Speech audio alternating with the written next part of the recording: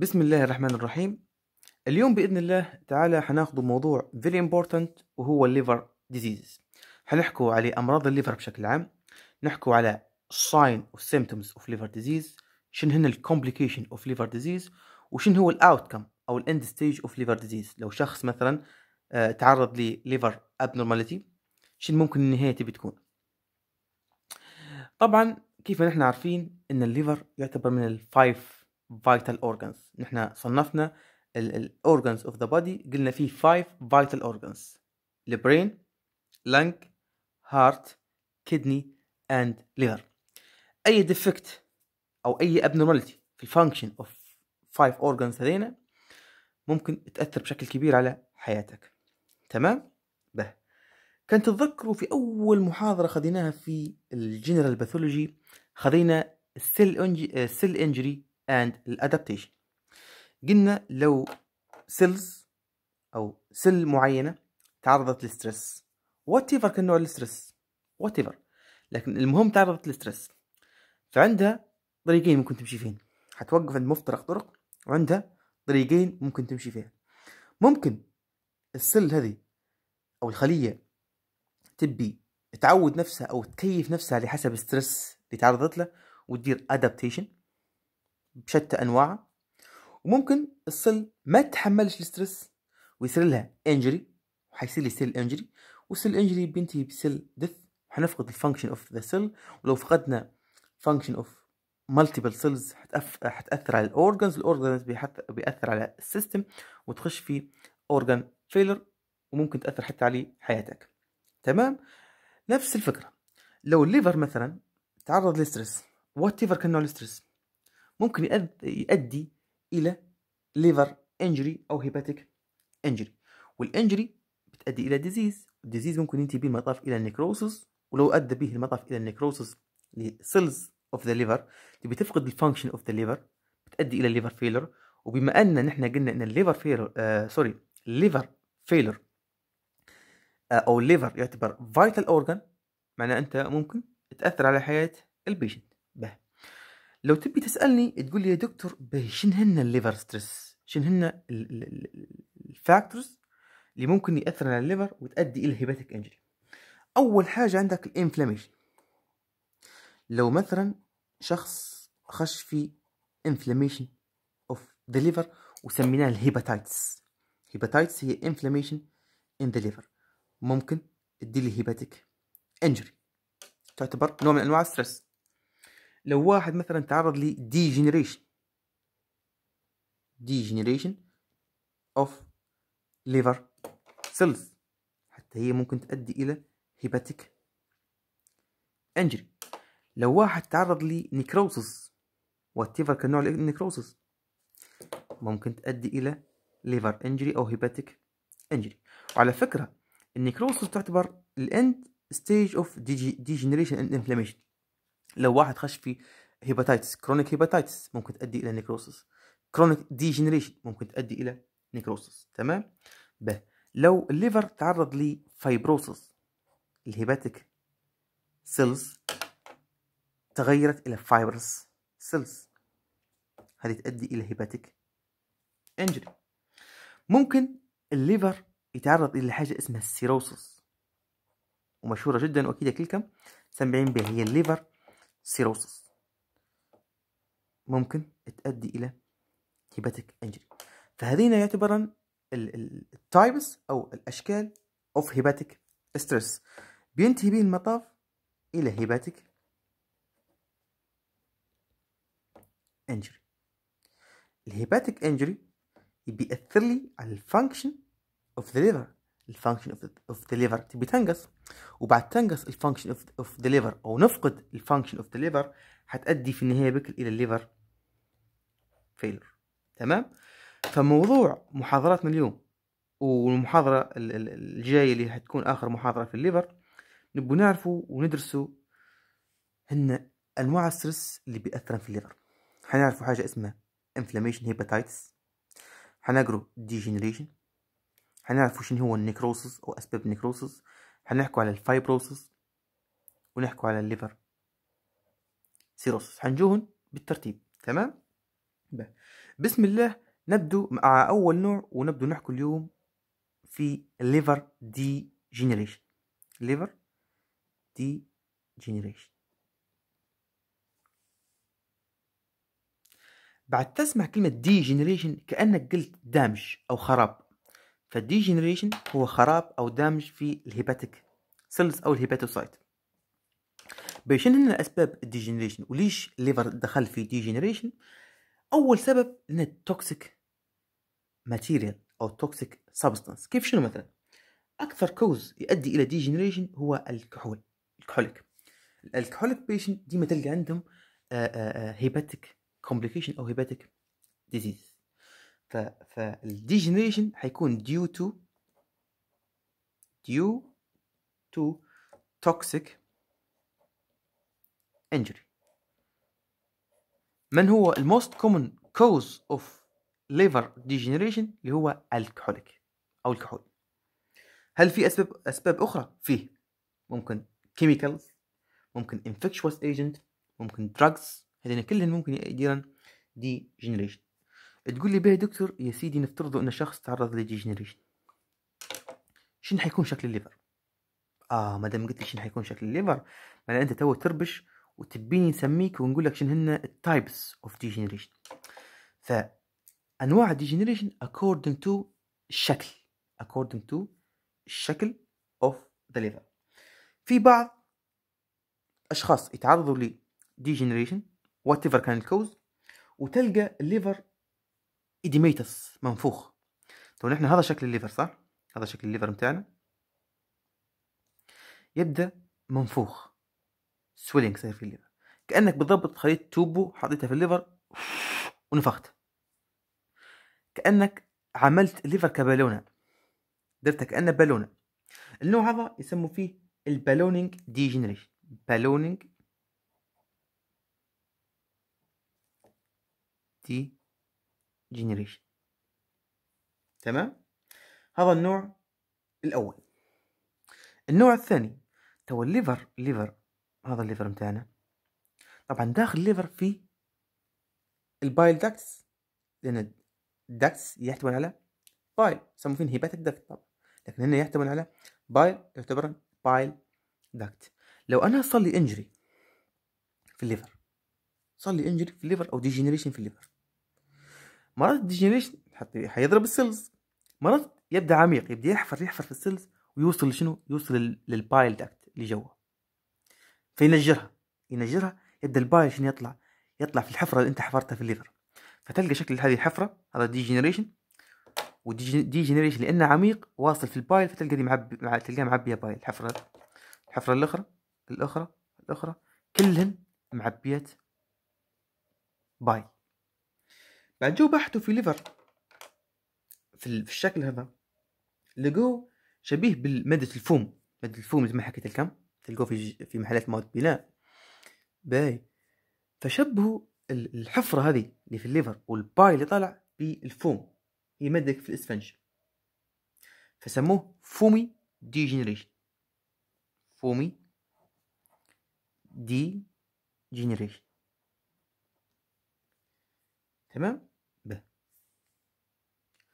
النوع الثالث أو الشكل الثالث من ال degeneration شوفوا معايا ال liver ال liver. لو خذينا منه عينة لو عندي هذا ال liver متاعي. وخذينا منه عينة وشفنا شكل ال hepatocyte من جوا حنلقاه بهذا الشكل. تمام؟ ال hepatocyte من جوا لا تحتوي على fat. لا تحتوي على fat. في بعض أنواع degeneration نلقوا ال hepatocyte مليانة ب fat. نسمو فيها fat droplet يعني كأنك في accumulation accumulation of fat droplet داخل ال hepatocyte. معناها هنا في fatty changes صار في ال liver أو صار في ال hepatocyte لأن normally ما فيهاش fat فالنوع هذا من ال degeneration نسمو فيه ال steatosis. steatosis. أو اللي هو يسمو فيه fatty changes in the liver. Fatty changes in the liver. بتقول لي دكتور أنا هيك عرفت إني إن degeneration هو 3 types ballooning degeneration foamy degeneration و steatotic أو fatty degeneration باهي أنت عم بدري أعطيتنا أنواع ال degeneration قلت لنا alcoholic قلت لنا ممكن يكون due to drugs ممكن chemicals ممكن infectious agent whatever كان نوع degeneration باهي هل في أنواع معينة جيران لل ballooning أو في أنواع معينة جيران لل foamy أو في أنواع معينة جيران لل steatosis لا. أي cause من ال cause of degeneration ممكن يؤدي لك لأي نوع من أو types of degeneration تمام؟ ده. أنا أعرف كم تو اغلبيتكم عندكم علامة استفهام على هذا. بتقول لي ليش؟ ليش ليش مثلا ال hepatic أو ال hepatic cell أو ال hepatocyte تعبت fat؟ مع إن هي normally ما فيهاش fat. شوف معايا قلت لك أنا أهم cause لل degeneration شنو هو؟ بتقول لي دكتور قلت لنا أهم نوع للديجنريشن اللي هو الكحول. ال alcoholic patient هم أكثر أشخاص ممكن يتعرضوا للل liver degeneration الكحول ال toxic substance هذه بعد تضرب ال liver تدي لي stimulation لإنزيم اسمه dehydrogenase dehydrogenase أو الأصح اسمه ال alcoholic. alcoholic dehydrogenase شنو وظيفته آه، أو الإنزيم هذا؟ يدير لي metabolism للكحول. لأنك أنت شنو؟ كيف ما نحن عارفين إن شنو وظيفة ال liver؟ هي detoxification detoxification أي toxic substance في في ال blood وفي ال body تقول تعالي هنا حولي حولي حولي تحول فيها أو تنقي فيها. لأنك أنت هو شنو؟ ال liver يصب فيه كل ال portal circulation كل ال abdominal أو ال pelvic organs خلال ال pelvic آه sorry خلال ال portal vein بيصبن في ال liver. وهنا يحمل toxic substance فال liver يعتبر بوابة بوابة إلكترونية. ما فيش حاجة تمشي ال heart إلا نصفيها تعالي هنا انت عندك toxic substance لا حولي لي. وانت امشي امشي امشي وهكذا. فالكحول يعتبر toxic substance فيبدأ يصير stimulation للإنزيم هذا مش يدير لي alcoholic metabolism أو ethanol ethanol metabolism الايثانول هذا هو اللي هو يستخدموا فيه في السكر. طبعا في اثنين في ايثانول وفي الميثانول الميثانول هذا اللي تلقوه ياخذوا فيه ديما من من وقود أو بنزين الطائرات. كان سمعته زمان وصارت حتى عندنا هنا للأسف الشديد إن في أشخاص توفوا من تسمم الكحولي. عادة التسمم الكحولي يصير لي من الميثانول. يغشوا فيها بدل ما يحطوا إيثانول يحطوا في ميثانول. تمام؟ المهم فيدير لي ethanol metabolism. نتيجة ال metabolism اللي صارت هذه والشخص يبدأ ياخذ في chronic alcoholic chronic ديما ديما باستمرار.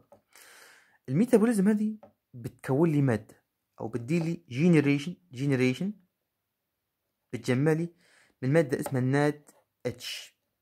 كده كلكم سامعينها.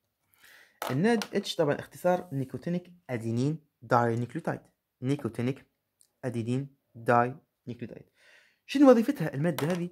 هذه تمشي تدير لي stimulation لل fatty acid synthesis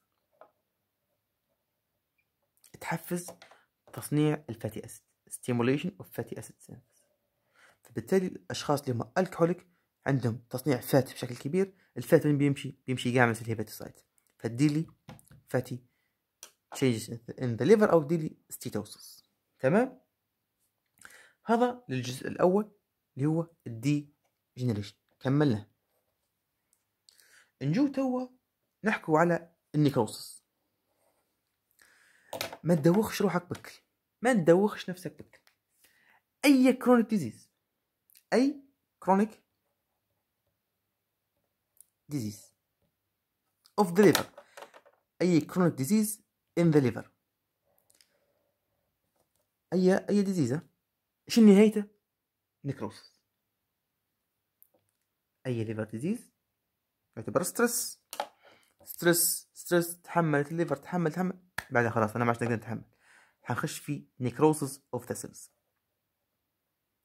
وال necrosis of the cells يعتبر نوع أو شكل من أشكال ال hepatic injury حيؤدي إلى decrease ال function of the liver وحينتهي به المطاف ل liver failure وال liver failure للأسف حينتهي بك المطاف إلى death لأنك أنت فقدت مكون أساسي من ال vital organs of the body باهي يا دكتور هل ال necrosis نوع واحد وشكل واحد ولا حتى هو أشكال وأنواع كيف كيف ال degeneration حتى هو أشكال وأنواع كيف كيف الديجنريشن باهي شنو هن؟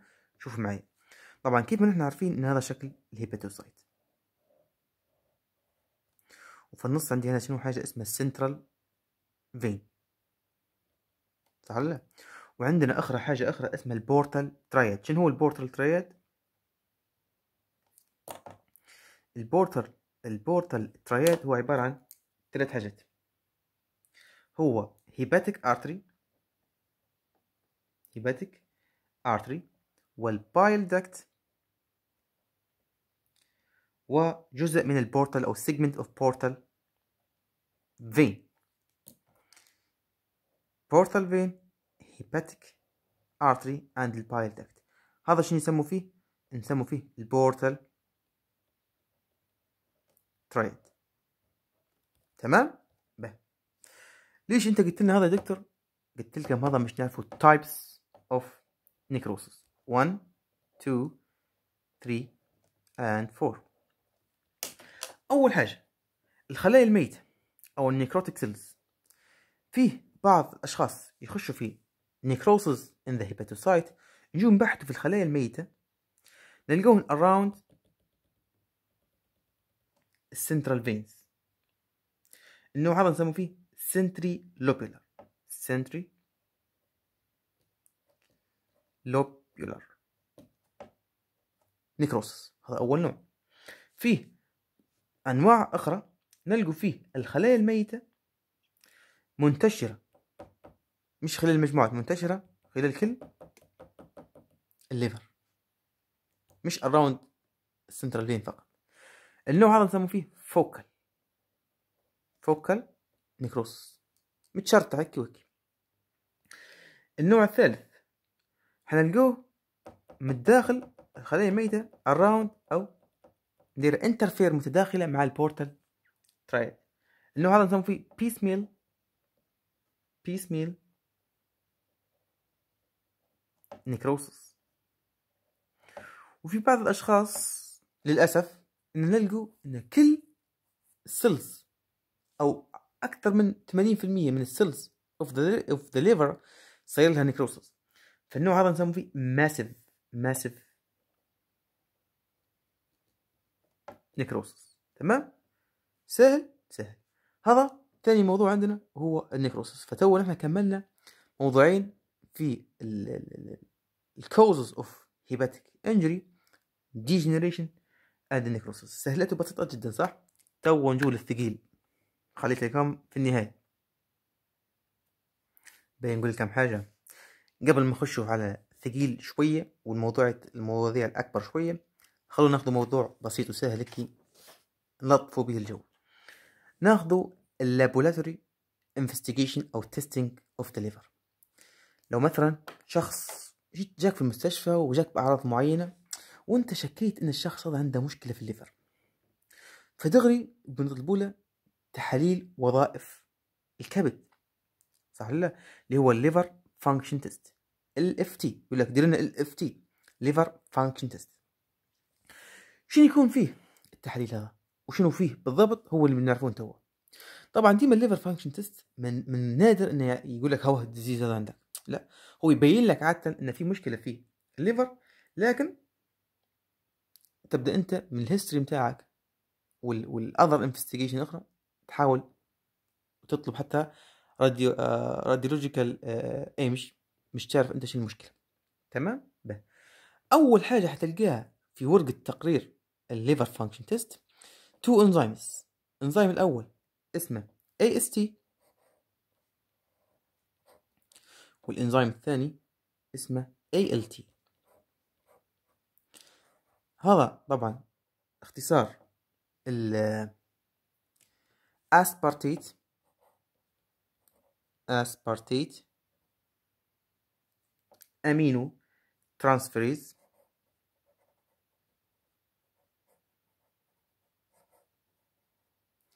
وهذا اختصار ال alanine. amino. transferase. فال AST هو aspartate amino transferase وال ALT هو ال alanine amino transferase. يا دكتور شنو الأسماء الغريبة هذه وشنو فكرتهن؟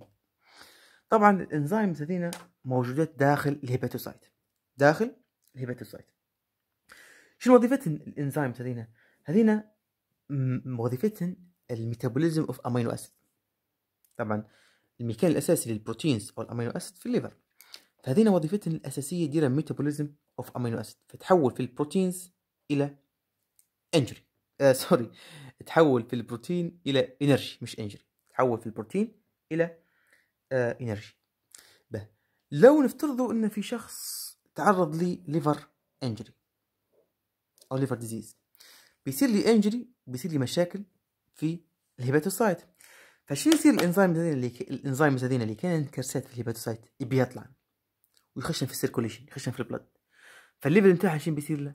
بيزيد. فديما ال elevation of AST وال ALT بعد تلقان high اعرف ان في مشكلة عندي في ال liver. تمام؟ هذه النقطة الأولى. الإنزيم الآخر اللي نلقوه في ورقة ال liver function test إنزيم آخر اسمه ال ALP اللي هو ال alkaline phosphatase. alkaline phosphatase. وفيه إنزيم آخر اسمه ال gamma gamma glutamyl gamma glutamyl glutamyl transpeptidase transpeptidase شنو قصة ال two enzymes هذين؟ اللي هو ال alkaline phosphatase وال gamma glutamyl transpeptidase طبعا إحنا ال liver متاعنا بهذا الشكل هذا ال liver. وتحت ال liver حتلقى المرارة اللي هي ال gall bladder ال duct of gall bladder اسمها ال cystic duct تستقبل ال hepatic duct وبعضهم يكون ال common bile duct تمام؟ ده. وهذا طبعا ال common bile duct بعد تنزل بيستقبلها ال pancreatic duct وبيصبها وين؟ يصبها في ال duodenum صح ال alkaline phosphatase. ينزل مع ال bile. ينزل مع ال bile ويخش في ال intestine. وهو ديما وظيفته في ال intestine ديما act against ال bacteria of GIT بشكل عام مش في ال intestine بس. تمام؟ لكن قال لك ال alkaline phosphatase عادة مش موجود فقط في ال liver.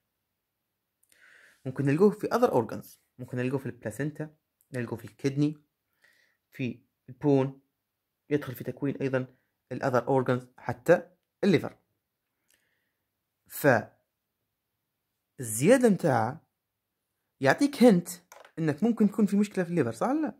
لكن شن ضمني إن مشكلة في ال liver مرات المشكلة في ال kidney مرات المشكلة في ال bone مرات في other organs فهو ينطلب كتأكيدي بس للمعلومات اللي عندك لكن not specific تمام؟ قال لك قال لك alkaline phosphatase نلقوا فيه high ديما في حالات ال obstructive jaundice obstructive jaundice أول حاجات تجينا في obstruction في ال bile duct نلقوا في ال alkaline phosphatase high ليش؟ شو التفسير بتاعي يا دكتور؟ لو مش قلت لكم ال alkaline phosphatase ينزل مع ال bile duct إلى ال duodenum بعد تجيني مثلا stone أو أي حاجة مسكرت لي ال bile duct ما عادش في bile ينزل. ال intestine تبدأ تعيط. يا liver يا liver نزل لي alkaline phosphatase تقول لا إله إلا الله أنا نصنع لك والله نصنع لك. لكن ينزل قدامي يلحق فيه. لكن ما ندريش عليه وصلك أو لا. في مشكلة. فال liver يظن من نفسه إن إن الالكلاين فوسفاتيز كمية متاعها ما تسدش. كميتها بسيطة. فيبدأ يصنع فيه أكثر وأكثر. وهو ما ينزلش. ف تبي تزيد نسبة متاعها في ال blood فتلقى ال high alkaline phosphatase ديما indicate to ال obstructive jaundice تمام؟ حاجة أخرى تقابلك في ال liver function test اللي هو protein ال albumin protein ال albumin طبعا ال albumin normally يصنع في ال liver وديما نسبة أو ال range بتاع التصنيع بتاعه per day من 12 ل 15 gram per day فلو أنا صار لي hepatic injury وصار لي death في ال hepatic cells معناها تصنيع الالبومين ما بيكون بالكفاءة الأولى. معناها ال level of albumin بينقص فالكلمة اللي نقول albumin low التصنيع بتاعه ديما شك إن انت عندك مشكلة في ال liver. هذه حاجة. الحاجة الأخرى اللي تطلبها مرات أنت في ال liver function test اللي هن ال coagulation factor أو ال clotting factor تمام؟ ال liver يصنف في factor واحد اثنين خمسة سبعة تسعة عشرة حداش اثناش هذين كلهم يصنعن في ال liver. فلو أنا عندي مشكلة في ال liver و liver disease و liver injury مش حيصنع بشكل كافي فيصير في decrease فممكن الأشخاص يخشوا في bleeding فديما يطلبوا في ال PT اللي هو ال prothrombin time ال prothrombin time نطلبوا فيه. في حالات ال liver disease حنلقوه prolonged حنلقوه prolonged ليش prolonged due to decrease في clotting factors ما عادش يصنع فيه ال liver due to injury in the cells تمام آخر حاجة نطلبوها في laboratory testing أو investigation في أي liver disease أو ال LFT نطلبوا البيليروبين أو البيليروبين. نسبة ال bilirubin normally level ديما تكون مفروض أقل من واحد milligram per deciliter تمام؟ مفروض تكون نسبة ال bilirubin normally في ال blood أقل من 1 milligram per deciliter في بعض الكتب وبعض المراجع تقول لك لا لعند الواحد point اثنين milligram per deciliter تعتبر normal فنحن مش حنزعل واحد فحطوا range قال لك normal range of bilirubin يتراوح من بين ال point 3 لعند الواحد point اتنين milligram per deciliter تمام؟ باهي. لو لقينا ال level متاعها أكثر من 1 جرام 1 ملي جرام الحالة هذه حنسموها hyper hyper bilirubinemia. hyperbilirubinemia. يعني زيادة في نسبة البيلروبين في ال blood لو لو بالضبط لقيناه أكثر من اثنين أو ثلاثة وبعض المراجع تقول أكثر من اثنين وبعض المراجع تقول أكثر من ثلاثة. milligram per deciliter. هذا نسميه فيه disease اسمه ال jaundice. اللي هو نحن نقول له بلهجتنا العامية الصفرة مرض الصفرة تمام؟ هذا بالنسبة ل laboratory investigation أو testing اللي نديرو فيه في ال liver function test لأي disease عندنا في ال liver. تمام؟ بتقولي لا يا دكتور مش تمام. كلهن تمام لعند هذا. انت قلت لنا البليربين وخشيت لنا في ال normal ال normal level و hyperbilirubinemia وال jaundice. شنو هو البليربين هذا؟ وكيف يطلع؟ وكيف يصنع؟ وشنو هي ال jaundice؟ بما انك انت سألتني انت جبتها لروحك بما انك انت سألتني شنو هو البليربين وشنو هو ال jaundice خلينا نخش فيه انت جبتنا الثقيل تو. خلينا نخش في موضوع جديد اسمه ال jaundice. ننتقل توا لموضوع مهم جدا وهو ال jaundice طبعا نحن اتفقنا من بدري شوي من ثواني إن ال jaundice هي عبارة عن hyperbilirubinemia زيادة في ال normal level of bilirubin تعالوا معايا نعرفوا شنو هي قصة البيلربين من البداية بكل عندنا هذا ال blood vessel blood vessel طبعا داخل ال blood vessels فيه هيموغلوبين بعد يتكسر عندي ال RBC ويتكسر عندي الهيموغلوبين بينقسم الهيموغلوبين إلى هيم وجلوبين الجلوبين بيمشي للل liver بيتخزن في ال liver هيقعد عندي هنا ال heme ال heme مستحيل هيقعد free شنو يصير؟ بيتكسر. فيتكسر ال heme إلى حاجة اسمها ال biliverdin. biliverdin. كيف تكسر ال ال ال ال heme إلى بيلي فيردين؟ عن طريق إنزيم اسمه ال heme oxygenase heme oxygenase شنو هو ال heme oxygenase هذا كسر لي ال heme إلى بالفيردين البيلفردين بيتحول لي إلى مادة اسمها البيلروبين. تمام؟ عن طريق إنزيم اسمه ال biliverdin reductase biliverdin reductase حول لي البيليفردين إلى بيليروبين. هذا كله وين صار؟ صار لي في ال blood أو في circulation البيليروبين توا من يبي يبي ال liver. يبي يعدي للل liver خلاص. بعد تحول ال heme إلى بيليروبين تو يدور في من؟ يدور في ال liver. فهو مش عارف مكان ال liver من وين. مش عارف مكان ال liver وين. فيبي يسأل.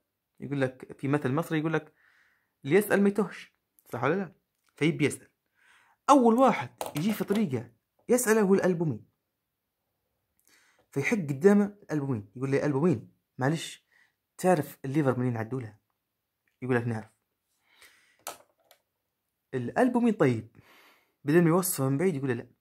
تعال اركب معايا تمشي لك. فالالبومين يرتبط مع البيلربين ويمشوا مع بعضهم داخل ال liver. يقول له هذا يا سيدي ال liver هاي السلام عليكم ويسيبه ويعدي. فوصل البيلروبين للليفر بكل سلام. داخل ال liver ال bilirubin مش هيقعد free حيصير لك conjugation يلصق مع حاجة أخرى فيصير لك conjugation مع حاجة اسمها ال glucuronic acid. فيصير لك conjugation مع acid اسمه glucuronic acid. كيف صار ال conjugation هذا؟ صار لي عن طريق إنزيم اسمه ال glucuronyl glucuronyl transferase glucuronyl transferase تمام؟ شنو وظيفة الإنزيم ال glucuronyl؟ transferase هو دار لي conjugation لل bilirubin معاش خلاه free free خلى البليربين معاه glucuronic acid شنو حقيقة اسمه البليربين داخل ال liver حاجة اسمها ال conjugated bilirubin. تقول لي آه معناها يا دكتور معناها البيلربين اللي هو كان برا ال liver هذا اسمه unconjugated bilirubin.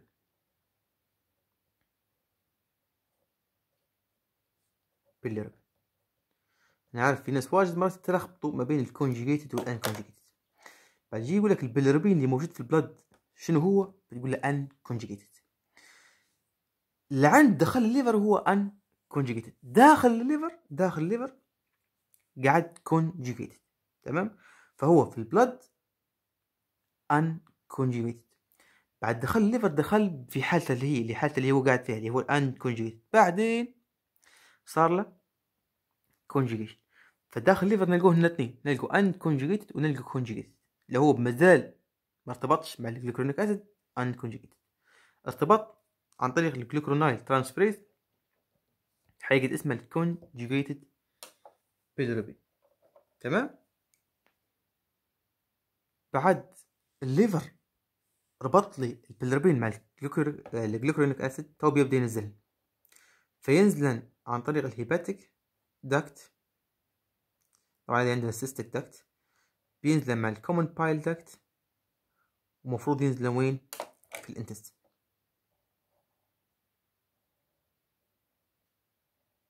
تمام؟ المفروض ينزل في ال intestine في جزء منهم يمشي لل kidney في جزء منها يمشي لل kidney ويطلع مع ال urine. يطلع مع ال urine حاجة اسمها urobilinogen urobilinogen هذا وين؟ هذا يطلع في ال urine. أما الجزء اللي بيطلع في ال stool حاجة اسمها stercobilinogen stercobilinogen bilinogen هذا حيطلع فيه ال stool فهذه هي القصة الطويلة العريضة أن بعد يصير تكسير لل RBCs أو يصير hemolysis في ال RBC والهيموغلوبين ويطلع عندي heme يبدأ ال heme يتحول إلى biliverdin biliverdin إلى bilirubin bilirubin ياخذ في جيبه الألبومين ويشيله للل liver ويطلقه داخل ال liver. قعد conjugated وطلع وطلع خلال ال urine عن طريق على شكل urobilinogen وطلع في ال stool على شكل stercobilinogen. تمام؟ آخر نقطة نريد نذكركم نذكركم بها البيلربين خارج ال liver اسمه unconjugated bilirubin داخل ال liver ممكن unconjugated وممكن conjugated على حسب ال conjugation مع ال glucuronic acid برا ال liver طلع من ال liver خلاص. مستحيل يطلع unconjugated يطلع conjugated bilirubin اتفقنا على القصة هذه؟ تمام. فأي زيادة في البيلربين بأشكال اثنين. لو كان في زيادة في ال unconjugated bilirubin أو زيادة في ال conjugated bilirubin أي زيادة في هذين الاثنين above ال normal level نسموا فيها ال hyperbilirubinemia أو ال jaundice. فلو صارت لي زيادة في ال unconjugated bilirubin حنسموها unconjugated hyperbilirubinemia ولو صارت لي زيادة في ال conjugated حنسموها conjugated hyperbilirubinemia تمام؟ به نجو تو شنو ال causes حتى رسمت لكم الخريطة هذه؟ ال causes حيقدر عندكم تافهات جدا. بتقول يا دكتور بما أن بما أن نفترض أن هذه الطريقة متاعها هذه الطريقة تبدأ من هنا بهذه البداية. وتنزل لك صح أنا ال liver عندي في النص ال liver قاعد في النص ما بين الطريقة الأولى والطريقة الثانية. فأنا أسباب ال jaundice ممكن تكون قبل ما يوصل البلربن للليفر وممكن تكون المشكلة صارت لي داخل ال liver ممكن تكون مشكلة صارت لي بعد مرور بالليربن في ال liver صح لا؟ فلو صارت لي مشكلة خارج ال liver في البداية قبل ما يوصل ال bilirubin لل liver هذه نسمو فيها ال pre pre-hepatic causes لو صارت مشكلة داخل ال liver حنسمو فيها hepatic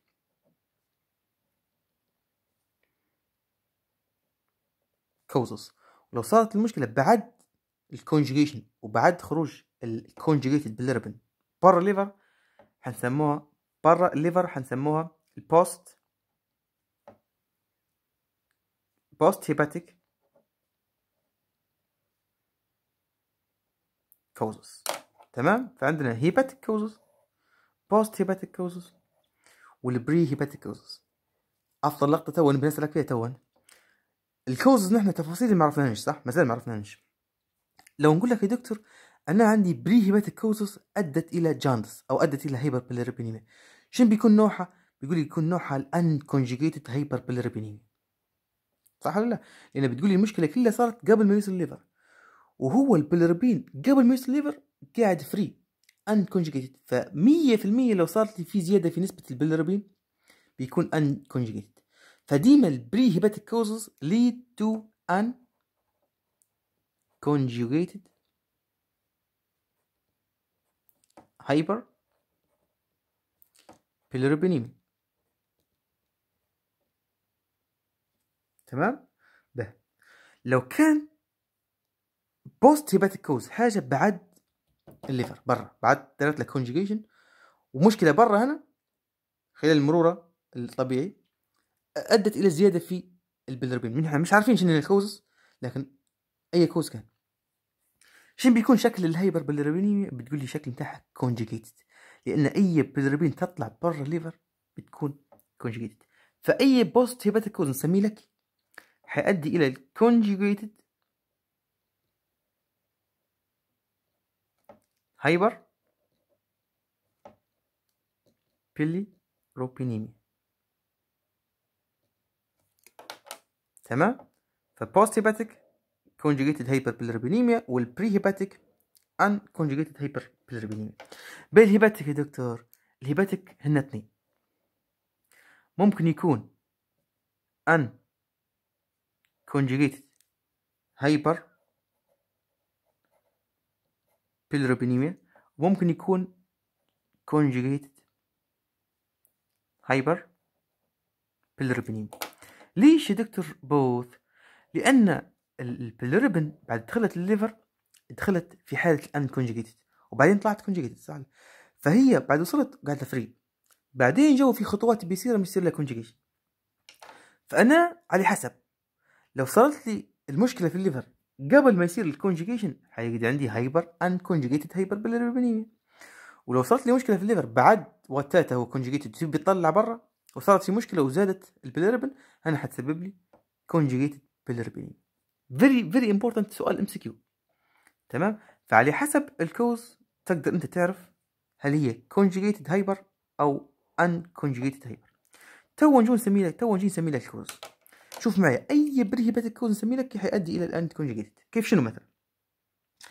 بتقولي دكتور أنت قلت لنا ان إن البليربن بتتكون نتيجة تكسير ال heme. صح ولا لا؟ فلو مثلا شخص عنده hemolysis في زيادة في ال hemolysis أي حاجة تؤدي إلى hemolytic anemia. يزيد بشكل كبير نسبة ال hemolysis وتكسير ال RBC معناها عندي بشكل كبير زيادة في البيلروبين صح لا؟ فتؤدي إلى hyperbilirubinemia وتؤدي إلى jaundice. كيف شنو مثلا؟ كيف disease اسمه spherocytosis spherocytosis هذا حناخذوه في ال blood حيكون شكل ال RBC بدل ما يكون الشكل متاعها biconcave حيجي الشكل متاعها دائري. فشنو؟ تتطربق hemolysis hemolysis hemolysis زيادة في ال bilirubin hyperbilirubinemia. في disease آخر اسمه ال sickle cell. يكون شكل آه شكل ال RBC منجل شكل. كيف الأداة الزراعية تلقى الشكل تاعها منجل؟ كالطبيعه في الزرع. نفس الشكل. فهي abnormal shape حتتكسر فزيادة في ال hemolysis زيادة في البيلروبينيم jaundice. تمام؟ ممكن blood transfusion ممكن autoimmune disease ال autoimmune hemolytic anemia ممكن مرض الملاريا الملاريا حتى يؤدي إلى تربيك في ال RBC كل يؤدي إلى hemolysis أي cause pre-hepatic شنو يدير الدكتور غمض عينك كل unconjugated hyperbilirubinemia تمام؟ باهي. شنو هن ال hepatic causes أي liver disease أي سمي أنت سمي. hepatitis cirrhosis viral hepatitis alcoholic hepatitis autoimmune hepatitis disease اسمه ال primary biliary cirrhosis hemochromatosis Wilson disease alpha 1 antitrypsin deficiency أي disease يخطر في بالك؟ أي disease يخطر في بالك؟ يضرب ال liver ممكن يؤدي إلى jaundice أو hyperbilirubinemia كل ال disease اللي سميت لك تو حناخذهم بعد دقائق ما تخافش. مش تقولي ادينا أسماء غريبة لا مش أسماء غريبة. بعد دقائق حتقدر عندك تفاهات جدا تمام؟ فيه disease اسمه ال Gilbert syndrome disease اسمه يعتبر intrahepatic causes Gilbert syndrome وفي disease اسمه Crigler Crigler Najjar syndrome Crigler Najjar syndrome تمام؟ طب هذينا according to ال doctors هم اكتشفوا النظريه دي. ده شنو مرض هو؟ شنو هو يا دكتور الجلبرت وشنو هو ال Crigler Najjar syndrome هذين الاثنين حيكون في مشاكل في ال glucuronic transferase. أنا بدون الانزيم هذا بدون ال glucuronic transferase مش حيصير لي conjugation لو أنا عندي نقص في الانزيم هذا مستحيل يصير لي conjugation ما بين البيلربين وما بين ال glucuronic acid وال liver أنا راسه مسكر. راسه مسكر. لو ال bilirubin not conjugated دير ما تدير اخبط راسك في السس والله ما مطلع لك بليربين راسه مسكر فلو أنا ما عنديش م... عندي مشكلة في الإنزيم هذا معناه ما فيش conjugation صح ولا لا؟ معناها البليربين مش حيطلع لأن ال liver راسه مسكر كيف ما قلنا. فيبدأ تجمع ال liver فيه آه البليربين في ال liver. فيزيد نسبته في ال blood. فتؤدي إلى ال hyperbilirubinemia وتؤدي إلى jaundice. تمام؟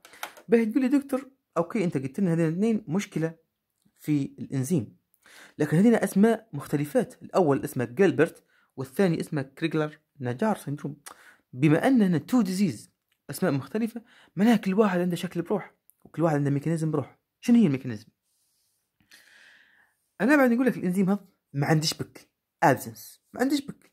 معناها بيأثر في عملية ال conjugation بيؤدي إلى بيلربل تمام؟ لو أنا نقول لك الإنزيم هذا فيه متوفر بكثرة ولا الحمد لله لكن ما يخدمش inactive شنو استفدت منه؟ ما استفدتش منه أي حاجة. منها حتى هو حتى يعني قعدته كيف قلته كيف ما نقول قعدته كيف قلت وهو موجود لكن inactive فمش حيدير لي conjugation فحيدير لي hyperbilirubinemia هذا هو الاختلاف ما بين ال Gilbert syndrome و ال Crigler Najjar syndrome ال Crigler Najjar syndrome فيه reduction أو absence في الإنزيم. ما فيش بك. ال Crigler Najjar syndrome absence أو reduction في ال amount of glucuronyl transferase لكن ال Gilbert syndrome لا الإنزيم فيه. لكن عنده reduced في ال activity inactive enzyme تمام؟ هذه بالنسبة لل hepatic causes hepatic causes أي hepatic disease اللي سميناها هذه ممكن يكون conjugated وممكن يكون unconjugated hyperbilirubinemia به شنو هن ال post hepatic causes ال post hepatic causes نحن عرفنا ان بعد صار لي conjugation وطلع لي conjugated bilirubin بيطلع خلال ال hepatic duct وينزل صح ولا لا؟ مش يطلع لهيئة stercobilinogen به بعد هو طلع conjugated نفترض ان في هذا مسكر الطريقة. مديره obstruction فيبدأ يتجمع البيلربين سال فتزيد ال level نتاعه فتخش آه تخش الشخص في hyperbilirubinemia النوع نتاعها conjugated لأنه هو طلع خلاص طلع خلاص وتؤدي إلى jaundice. كيف شنو باش؟ هو أنت نبيك تفكر لي في أي حاجة دير obstruction سمي لي. stone جماعة اللي يعانوا من حصى في المرارة. أو في ال ducts أي stone ممكن تفكر لي القصة دي كلها. البنكرياس. ال head of pancreas في أشخاص يخشوا في cancer في أو pancreatic cancer يكون في ال head of pancreas أو أي جزء من البانكرياس ممكن يدير لك obstruction obstruction على ال duct فتدير لي hyperbilirubinemia أو conjugated hyperbilirubinemia ممكن بعض الأشخاص من عندهم يعانوا من parasitic infection بعض ال parasite تدخل وتدير لك obstruction فأي حالة تدير لك obstruction تدير لي post hepatic jaundice أو conjugated hyperbilirubinemia تمام؟ هذا فيما يخص موضوع ال jaundice نجو تو نحكو على موضوع حتى هو مهم جدا وهو ال liver cirrhosis وهذا الموضوع اللي أنت كلكم ترجو فيه إن اغلبيتكم سامعين بحاجة اسمها ال liver cirrhosis لكن مش عارفين ال details of liver cirrhosis ال liver cirrhosis حتى ما تدوخش نفسك. بك أي chronic أي chronic liver disease بينتهي به المطاف إلى حاجة اسمها liver cirrhosis حينتهي به المطاف إلى liver cirrhosis فال liver cirrhosis حتمثل ال end stage of damage أو ال end stage of أي end stage of any chronic liver disease لكن لكن بعد الشخص يخش في irreversible changes يعني الشخص دخل مثلا في liver disease whatever كان نوع disease خش في chronic liver disease واستمر استمر ال liver ما عادش تحملا فخشن في irreversible changes خلاص ما عادش في أمل. ما عادش في أمل يرد كيف قبل. الحالة هذه اللي هنا irreversible changes نسموا فيها ال liver. cirrhosis تمام؟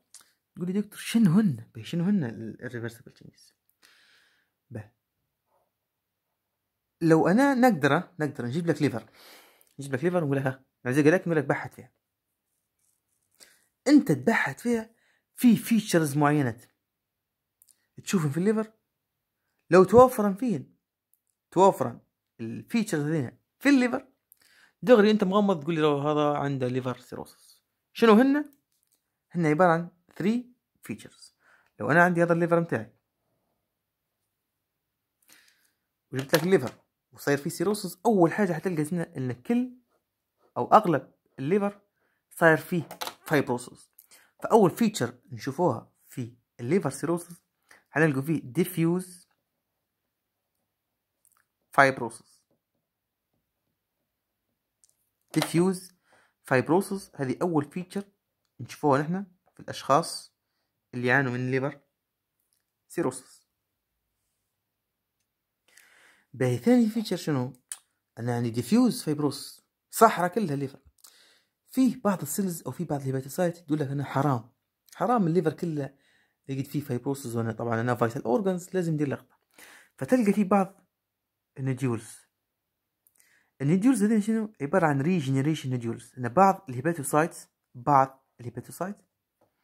بيحاول يلتقطن انفاسا ويصنع normal cells أخرى أو بيصير لهم regeneration مش أنا ما نفقدش مش ما نفقدش ال liver. فتلقى فيه regenerating nodule regenerating nodules. regenerating nodules هذين هن عبارة عن hepatocyte. متغلفات من برا ب fibrotic tissue فهن عبارة عن hepatocyte encircled by ال fibrous tissue هذينا نسمو فين ال regeneration nodules لو نبحثوا في ال vessels اللي داخل ال liver نلقوا إن الشكل نتاعها الطبيعي abnormal. نلقوا فيه defect أو disrupt disrupt في ال vascular vascular architecture. في تشوه في شكل ال vessels in the liver مش الشكل نتاعها الطبيعي. هذا يدلك على إن الشخص هذا يعاني من liver cirrhosis فعندنا 3 factors لو أنا شفتن في أي liver نبصم بالعشرة إن الشخص هذا عنده liver cirrhosis diffuse fibrosis regeneration nodules و disrupt of vascular architecture. أنت عارفك تو بتقول لي إيش معناها؟ ال disrupt في, ال vascular architecture أعطيني دقيقة أو دقيقتين بعدين نخشوا في ال pathogenesis of liver cirrhosis تو نذكرك بين النقطة دي حتفهمها أنت بروحك. تمام؟ بما ان بما أن أنا قلت لك أن ال liver cirrhosis يكون due to any chronic liver disease باهي دكتور شنو هن ال chronic liver disease اللي ممكن أنا نخاف منهن؟ إنهن يأثرن ويؤدن إلى ال liver cirrhosis أول cause وأهم cause اللي هو الكحول ال alcoholic. هو يعتبر ال most common cause يمثل تقريبا من 60 ل 70% من ال causes of liver cirrhosis أول حاجة أول أول شخص أو آه شخص يعني من chronic use من ال alcoholic. هذا توقع منه إنه ينتهي بالمطاف إلى بال liver cirrhosis ونحن قلنا ال liver cirrhosis هي ال end stage. ومن بدري ال alcoholic ذكرناها نحن. قلنا الشخص اللي يعاني من ال alcoholic ممكن يصير له steatosis ال fatty changes. فهو الشخص المتعاطي هذا أو اللي ياخذ الكحول حيمر بمراحل. أول مرحلة يمر بها إنه يصير له fatty changes. ال alcoholic fatty changes. ربي ما هدش. وقاعد مستمر في الضلال نتاعه ال alcoholic حيدير له inflammation في ال liver نتاعه وال inflammation هذا أو الالتهاب صار due to الكحول فحيخش الشخص في ال alcoholic hepatitis ما زال الشخص هذا مسكر راسه ما زال ما هداش يربي وما بيش يوقف ينتهي به المطاف إلى ال cirrhosis وال cirrhosis صار نتيجة شنو؟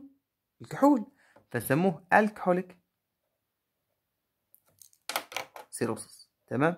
هذا هو ال most common cause of of liver cirrhosis شنو هو؟ diffuse fibrosis nodule disruption of vascular architecture. ده شنو هو السبب الآخر؟ السبب الثاني اللي هن ال biliary diseases biliary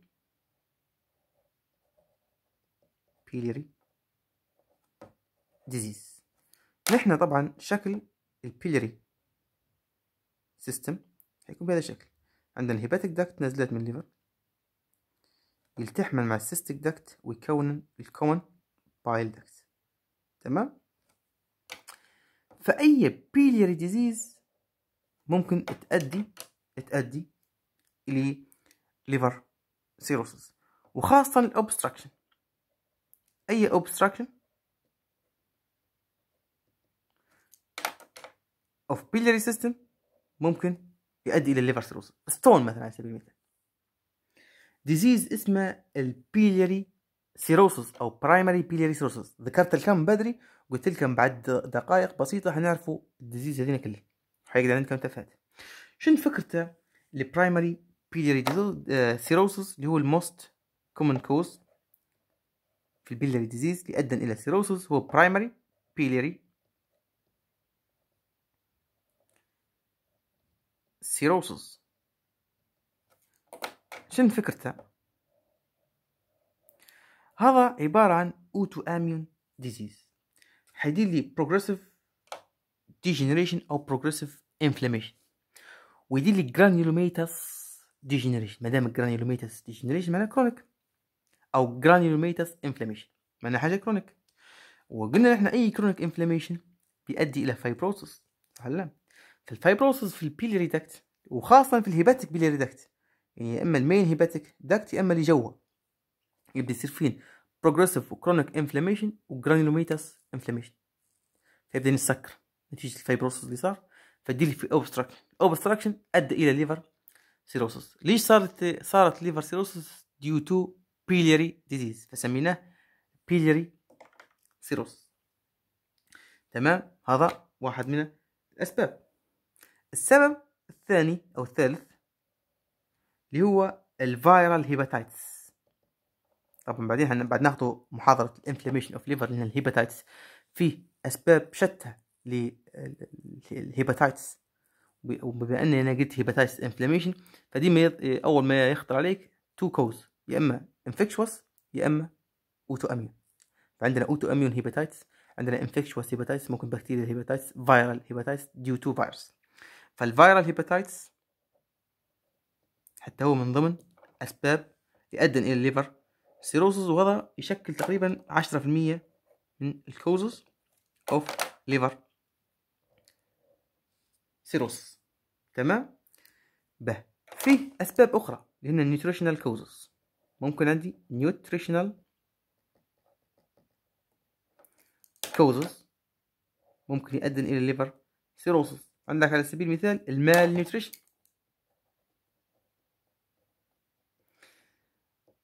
المعتقد اللي هم ماشيين بيه توا إن due to defect أو imbalance ما بين liver enzymes نتيجة حدوث ال malnutrition هي اللي تؤدي إلى ال liver cirrhosis تمام؟ في other nutritional disease. في disease اسمه ال hemochromatosis hemo hemochromatosis وفي disease آخر اسمه الويلسون Wilson disease hemochromatosis وال Wilson disease شن فكرة ال hemochromatosis وشن فكرة ال Wilson disease ال hemochromatosis هيبدأ يصير لي accumulation of iron. ال iron بعد يكون عندي في iron overload في زيادة في ال normal level of iron ال iron بعد يكسد ويكون عنده high level يمشي يعمز لي في ال liver. فيدير لي damage في ال liver تؤدي إلى liver cirrhosis due to ال hemochromatosis الويلسون شبيه بال hemochromatosis لكن المادة تختلف. هو حيكون في accumulation of copper داخل ال liver نتيجة elevation في ال normal level of copper فتقعمز في ال liver فتؤدي إلى Wilson disease فيه disease آخر اسمه الألفا 1 antitrypsin deficiency. alpha 1 antitrypsin deficiency النقص في إنزيم اسمه الألفا 1 antitrypsin ممكن يؤدي إلى ال liver cirrhosis باهي شنو قصة الألفا 1 antitrypsin normally نحن قلنا نقص في الألفا 1 antitrypsin ممكن يؤدي إلى cirrhosis بين الألفا 1 antitrypsin normally شنو يدير؟ طبعا الألفا 1 antitrypsin هذا إنزيم يصنع في ال liver. الوظيفة نتاعه ال protection. يحمي. يحمي ال cells من أي external damage فهو يدير لي inhibition لبعض ال enzymes بعض ال enzymes المدمرة. كيف شنو؟ كيف ال protease enzyme elastase enzyme آه بعض ال trypsin وال chymotrypsin enzymes هذه إنزيمات مدمرة. فهو يدير inhibition مش ما يدمرنش ال cells أو ال normal cells أمتى يطلع؟ يطلع كده في حالات الحرجة. يطلع مثلا في severe inflammation acute infection acute inflammation يبدأ يطلع إنزيمات مش يحمي ال cells صح ولا لا؟ فلو أنا عندي نقص في الانزيم هذا ألفا 1 antitrypsin deficiency نقص عندي معناها الحماية الحماية اللي تحميلي في ال cells من ال enzymes المدمرة قلت. فممكن تبدأ تدمر لي في ال liver مثلا أو في أي organ فتديلي إذا خراب أو damage في ال liver. chronic damage في ال liver حينتهي بالمطاف إلى liver cirrhosis تمام؟ لو نجي نقول لك يا دكتور دير لي classification صنف لي صنف لي ال liver cirrhosis تقول لي سهلة. According to ال cause اللي أنا صنفتهم نقدر نصنف لك ال liver cirrhosis. لو كان ال cause alcoholic اللي هو ال most common طبعا حيكون نوع cirrhosis اسمه alcoholic cirrhosis ولو كان كان ال cause due to ال biliary disease حنسموه biliary cirrhosis لو كان viral حنسموه viral cirrhosis لو كان nutritional حنسموه nutritional cirrhosis ف according to ال cause نقدر نطلع ال type of cirrhosis تمام؟ في تصنيف آخر according to size. لو أنا عندي cirrhosis في مكان معين وكان حجم ال nodules اللي تكونت اللي هي ال regeneration nodule الحجم متاعها أقل من 3 ملي نسموه micronodular cirrhosis micro nodular cirrhosis هذه لو كانت أقل من 3 ملي لو كانت أكثر من 3 ملي حجم ال nodule نسموه macronodular cirrhosis ال types هذينا of cirrhosis كانت according according to size of regeneration. nodule تمام؟ نجو تو لل pathogenesis pathogenesis of liver cirrhosis شوف الرسمة اللي قدامك تو. لو أنا خديت صورة مقطعية للل liver لو عندي هذا ال liver وجيت قصيت صورة قصيت جزئية من ال liver بهذا الشكل وكبرتها. حتعطيك الشكل اللي قدامك. شنو هو الشكل اللي قدامك؟ تعال نشوفه. طبعا هذينا ال hepatocyte. هذينا ال hepatocyte. داخل ال hepatocyte عندي ال bile duct. داخل ال hepatocyte عندي ال bile duct اللي قدامك هذا نسموه فيه ال sinusoids sinusoids نهاية ال sinusoids central vein. هذا portal vein. وهذا hepatic artery. hepatic artery. يكون ال sinusoids وينتهي بنهاية ال sinusoids اللي هو ال central vein space هذا space هذا نسموه فيه ال perisinusoidal space peri نكتبه بالأحمر perisinusoidal space عنده اسم آخر هو space of Disse space of Disse. فعشان هو space of Disse هو نفسه ال perisinusoidal space بال space هذا هل هو فاضي ولا في حاجات لا في cells في cells نجمية الشكل بهذا الشكل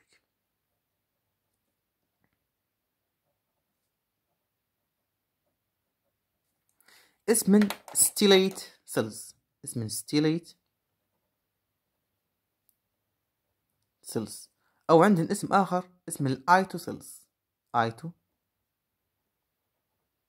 cells stellate cells أو ال Ito cells طبعا ال cells هذينا normally موجودات في ال perisinusoidal space شنو وظيفتهم ال stellate cells هذينا مخزن لل vitamin A يخزن لل stellate cells أو ال Ito cells مخزن للفيتامين A هذا الشكل normal تمام؟ به. نخش تو في ال abnormal لو أنا تعرضت ل chronic liver injury أو chronic liver disease وبدأ يصير لي damage في ال hepatocyte. تمام؟ تبدأ ال hepatocyte اللي هي ال damaged تبدأ تفرز فيه secretions أو factors لل stellate cells ال paracrine factors كلمة paracrine معناتها انت تفرز حاجة لل cells المجاورة لك. هذا كلام histo. فتفرز stimulatory factors. تبدأ تديري في stimulation. لل stellate cells تمام؟ فأنا هنا شنو صار لي؟ صار لي stimulation لل stellate cells ال stellate cells هذين بعد صار ال stimulation بدأت تزيد في العدد وبدأت تزيد في الحجم. وبدأن ال stellate cells هذين يفرزن في جروث فاكتورز تفرز لي في growth factor اسمه ترانسفورمينج ترانسفورمينج growth factor بيتا من تفرز فيها دي؟ تفرز فيه ال stellate cells أو ال Ito cells تمام؟ ال growth factor هذا ال growth factor هذا يمشي يبدأ يصنع لي ويدير لي production of ال collagen produce collagen and fibrous tissue. Collagen and ال fibrous tissue. فيبدأ يدير لي فايبروزس للليفر ويبدأ يخشش الشخص في آه liver cirrhosis نعاود. شخص تعرض ل chronic liver injury أو chronic hepatic injury أو chronic liver disease فبدأ يصير ال damage في ال hepatocyte ال hepatocyte بدات تفرز فيه stimulatory factors وين تفرز فين ال stellate cells. ال stellate cells بدأ يزيد الحجم نتاعها والعدد نتاعها نتيجة ال stimulation فبدت تفرز في transforming growth factor بدأ يفرز في collagen and fibrous tissue وأدى في النهاية بكل إلى liver fibrosis و liver cirrhosis فهتلقى مفتاح ال liver cirrhosis اللي هو ال stellate cells. هو mediate ال liver. cirrhosis هذه نقطة مهمة. به بعد صار stimulation عن طريق ال damaged hepatocyte لل لل لل لل stellate cells شنو قلنا إحنا الحجم نتاعها بدأ يزيد والعدد نتاعها بدأ يزيد بدأ يزيد. فبدأ يضغط على ال sinusoids يدير في compression على ال sinusoids فال compression هذا أدى إلى زيادة في ال pressure inside ال vessels أدى إلى زيادة في ال pressure داخل ال vessels فال liver cirrhosis مرات يؤدي إلى حاجة اسمها ال portal hypertension portal hypertension فنتيجة الضغط ال stellate cells على ال vessels شوه شوه شكل ال vessels فال architecture of vessels صار لهم تشوه نتيجة الضغط. هذا ليش قلت لكم أنا من بدري؟ بعد ناخذ ال pathogenesis حنقول لكم شو معنى كلمة disrupt of vascular architecture اللي تصير لي في ال liver. cirrhosis تمام؟ باهي لو نجو تو نسألوا ونقولوا شنو هن ال clinical pictures ال clinical pictures of liver cirrhosis لو جاني مثلا شخص عنده liver cirrhosis شنو ممكن؟ الحاجات اللي ممكن يعاني فيه. أول حاجة أول حاجة يجوك بها الأشخاص اللي يعانوا من liver cirrhosis مرات ما تقدرش الشخص مبهم يعني ما عندهش أعراض. هو خاش في ال liver cirrhosis لكن ما فيش أعراض باين عليه. هذا نسموه فيه silent silent ما عندهش أي أعراض. تمام؟ هذه الحاجة الأولى. الحاجة الثانية الثانية ممكن يجيك ب non specific symptoms. Non specific symptoms. شو معنى كلمة non specific؟ معناها حاجة تصير في كل الأمراض. نعطيك مثال خارج مو... خارج آه، موضوعنا اليوم. الشخص يجيك بحرارة وصداع مثلا. هذا non specific symptoms. ما فيش حاجة لو جاك صداع مثلا جاك صداع تقول آه أنت عندك صداع عندك صداع وأنا عندك المرض الفلاني. آه أنت عندك حرارة ما عندك المرض الفلاني. لا. جميع الأمراض أو أغلب الأمراض تدير في حرارة. أغلب الأمراض تدير في صداع. فهذا يعتبر يعتبر فيه non specific ماهوش عرض محدد. يجي في كل الأمراض.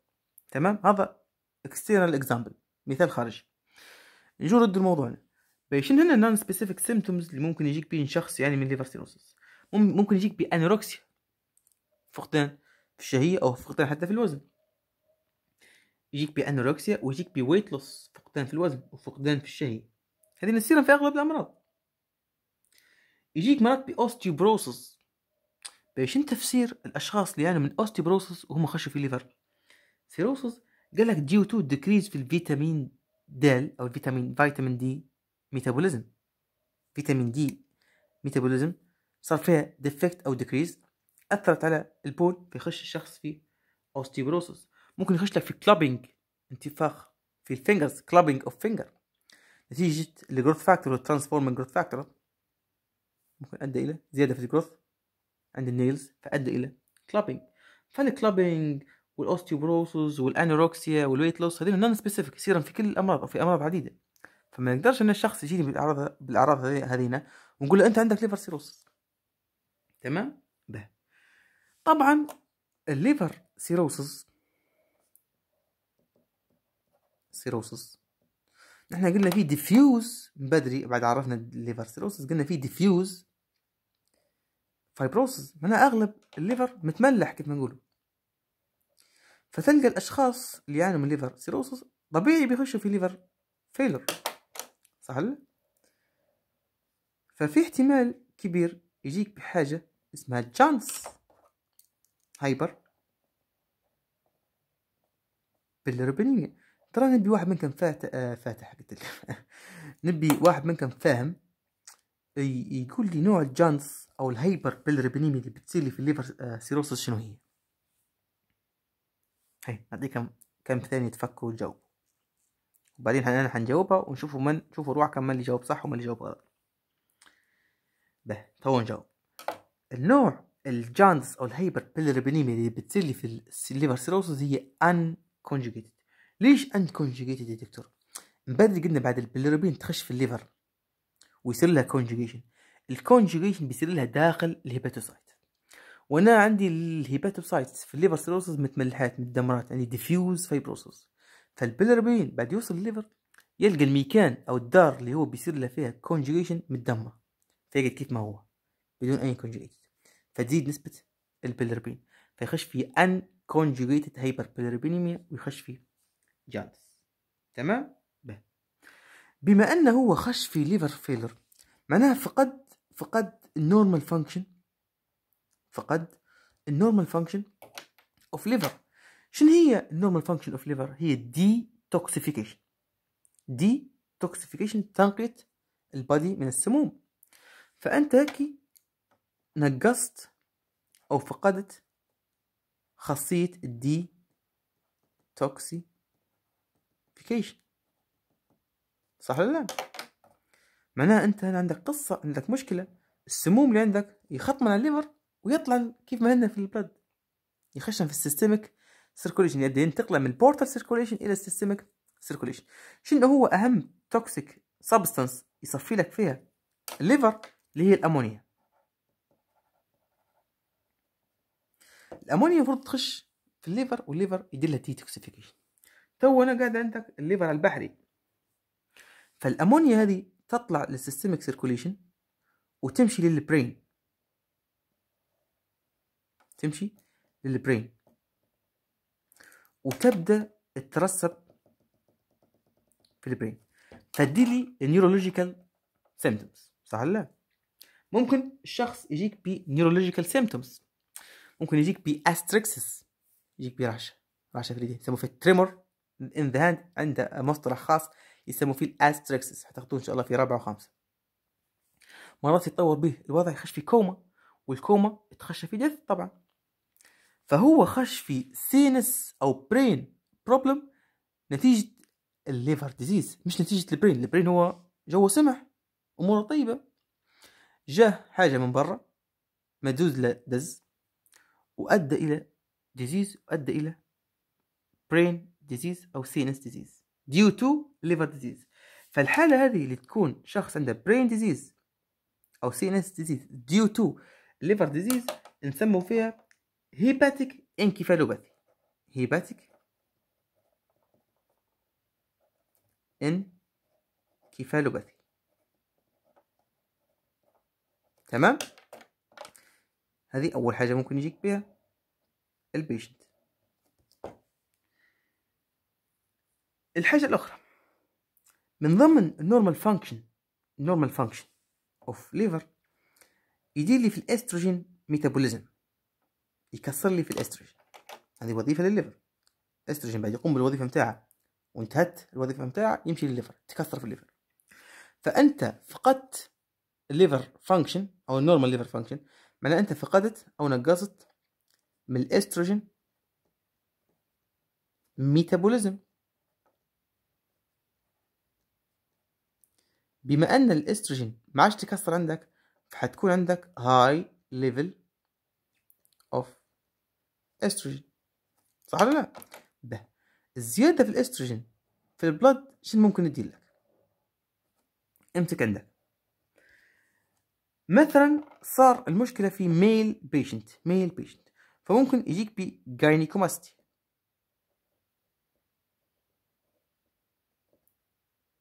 increase في ال size of breast في ال male due to ال high level of estrogen لو كانت female patient حيدير لها حاجة اسمها ال amenorrhea amenorrhea amenorrhea أو ال amenorrhea هذه absence أو loss في ال menstrual cycle تمام؟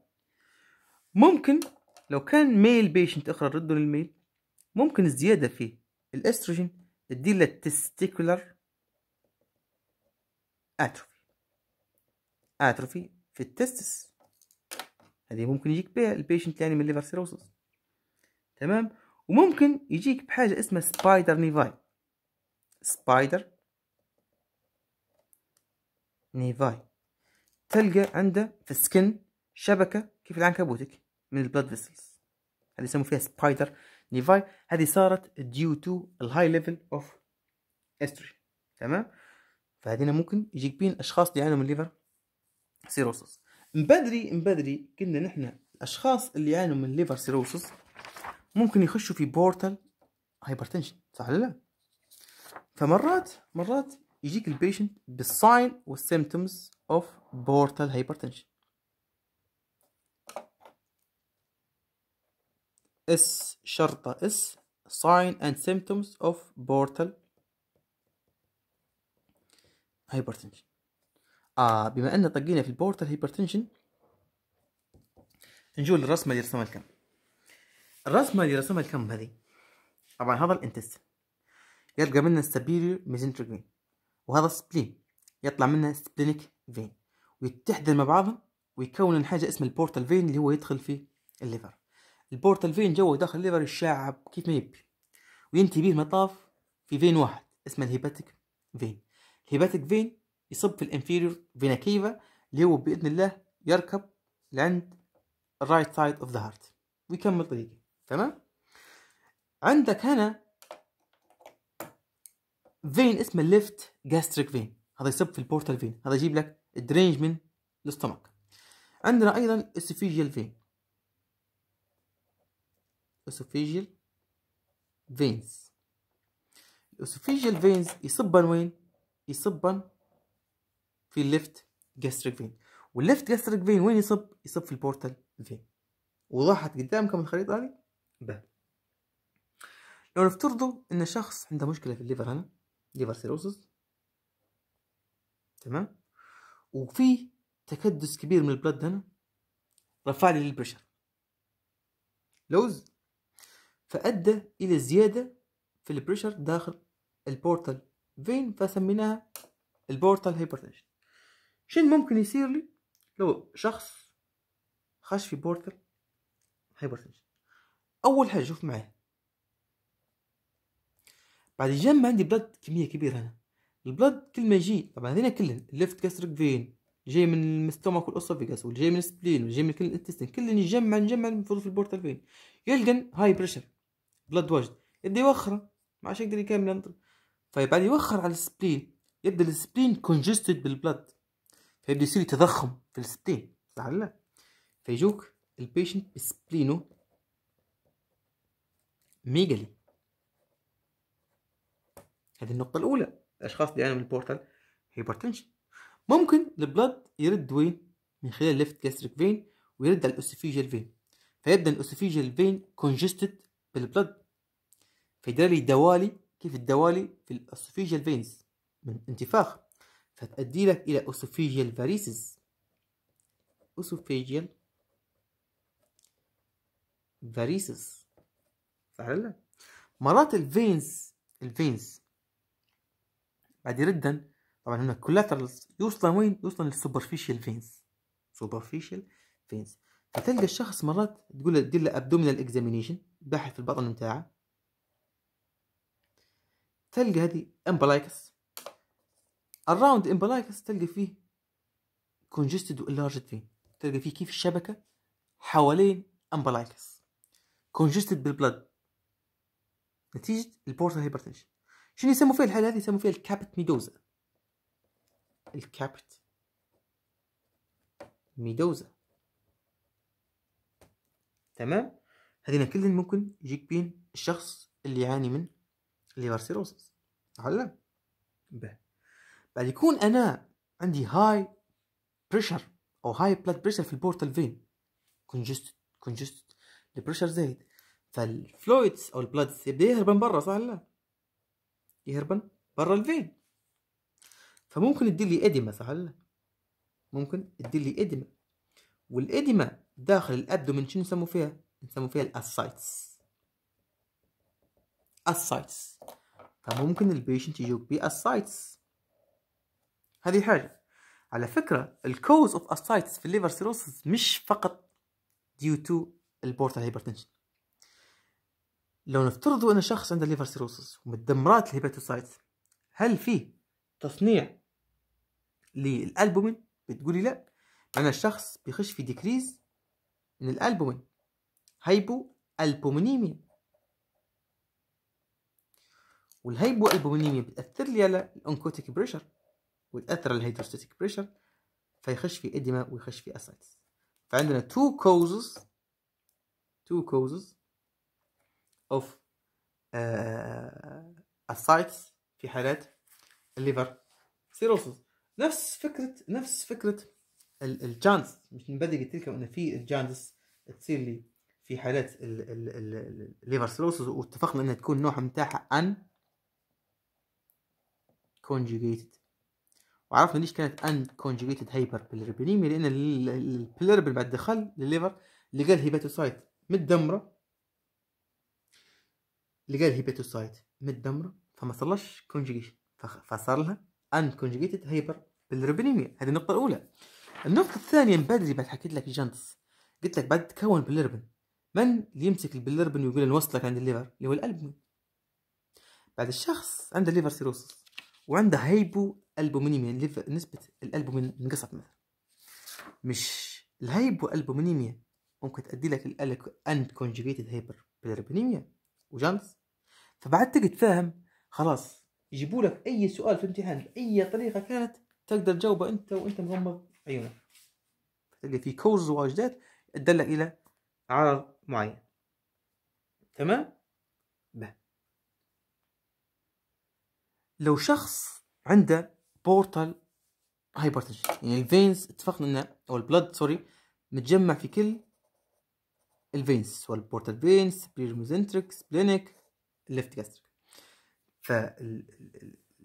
تلاحظ إن ال veins هذينا موجودات موجودات في الأحشاء متاعتك وكلمة أحشاء نسمو فيها splanchnic splanchnic veins فتلقى فتلقى كل كل splanchnic vein صار فين vasodilatation منتفخات فتلقى فيه dilatation في كل splanchnic veins كل splanchnic veins صار فيه dilatation هذا بيأثر لك على ال other vessels يعني نقص عليه ال blood صح نقص. يعني أنت ال blood هذا اللي راد. بيخطم ال heart بيطلع لك آخر. فأنت مادام هو حاصل اللوطة مش راقي فوق مش راقي فوق فبيأثر على ال other organs فهنا شنو يصير لك؟ مرات يصير لك vasoconstriction في ال renal vessels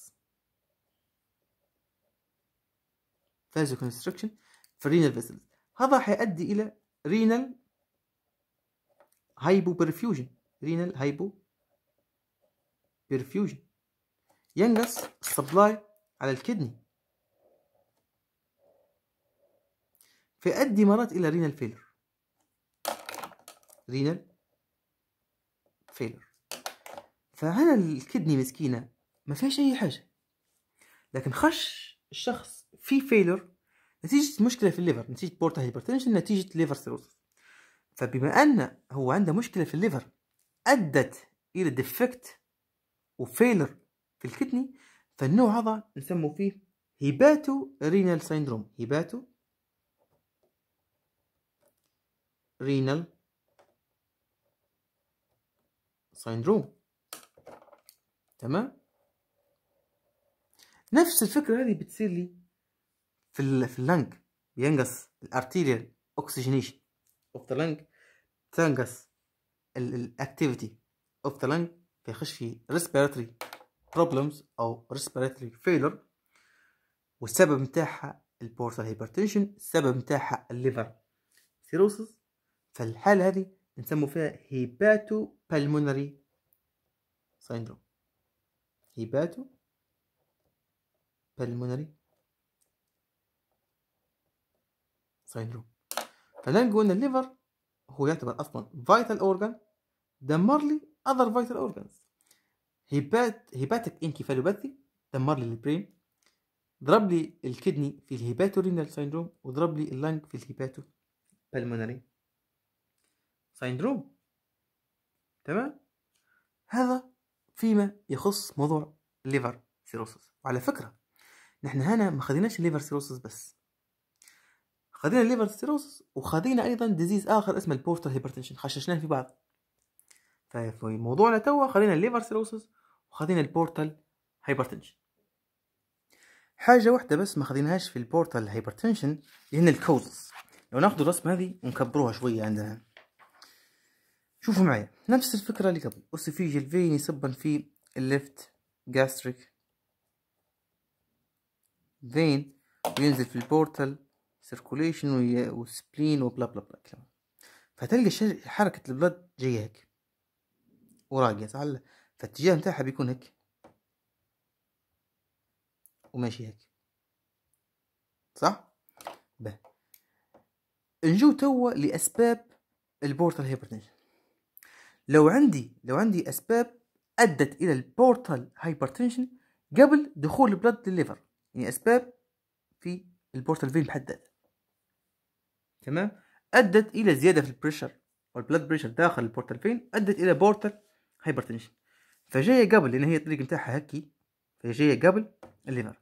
فهذه نسموها ال pre-hepatic causes pre-hepatic causes of portal hypertension لو كانت المشكلة داخل ال liver أدت إلى زيادة في ال portal hypertension هذه نسموهم intrahepatic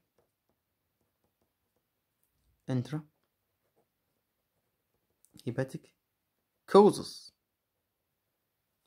أدت إلى حدوث ال portal hypertension. لو كانت عندي مشكلة مثلا في ال hepatic vein أو ال inferior vena cava المهم بعد ال liver هذه حنسموها post hepatic causes فأنت هيك منطقيا منطقيا تبي تقول لي دكتور أنا حنطلع ال causes of portal hypertension من رسمه من بيش نحفظ أي حاجة. من بيش نحفظ أي حاجة. ترى يا دكتور طلع لي شنو هن ال post post-hepatic causes أو يا سيدي خلينا نبدأ من ال pre نبدأ من البداية. طلع لي يا دكتور شنو هن ال pre-hepatic causes بتقولي سهلة. أي حاجة تدير لي obstruction في ال portal vein حتزيد لي من ال portal hypertension. ممكن thrombosis thrombosis في آه، آه، ال portal vein سكرت لي ال vein mass من برا tumor أي mass؟ ضغط لي ال portal vein من برا.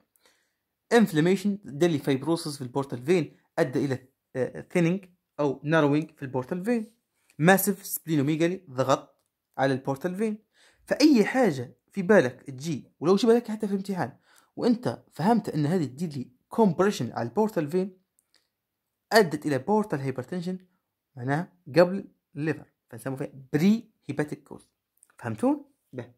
لو نجي نقول لك يا دكتور أعطيني cause hepatic cause أو داخل ال liver يؤدي إلى portal hypertension يقول لي هو كنا نحكوا فيه اللي هو ال liver cirrhosis أي حاجة أي chronic disease يضرب ال liver ويؤدي إلى liver cirrhosis توقع منه يجي لي portal hypertension يا دكتور شنو هن ال causes اللي هن بعد ال liver ممكن مشكلة في ال hepatic vein أو في ال inferior vena cava أدت إلى حدوث ال portal hypertension تقول لي بالفهم يا دكتور أي حاجة مديرة thrombosis أو obstruction hepatic vein thrombus mass أي حاجة. دارت لي obstruction في في ال في, في ال hepatic vein أو narrowing في ال hepatic vein ممكن تؤدي إلى post-hepatic portal hypertension أي حاجة بتسكر لي ال inferior vena cava mass من برا tumor آه thrombus مع rare thrombus لأنه هو wide فأي حاجة بتدير narrowing أو obstruction في ال inferior vena cava ممكن تؤدي إلى post-hepatic portal hypertension صح لا؟